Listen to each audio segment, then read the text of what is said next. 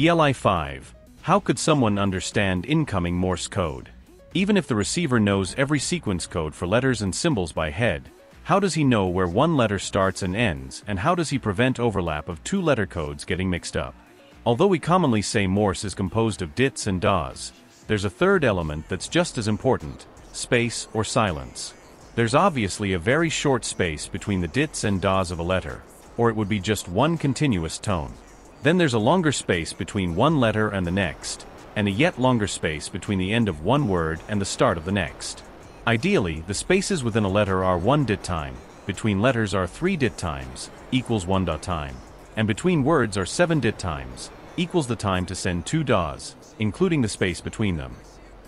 Often senders will exaggerate the spaces to make copying easier, but some senders seem to shorten the spaces in a quest for speed, and it does make them hard to copy.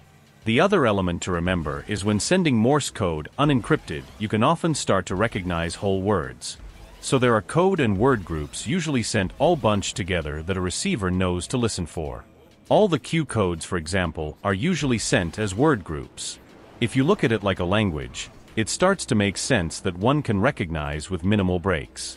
We overpronounce words for babies, but once you have a well-developed knowledge of the language we all speak quickly and still understand each other.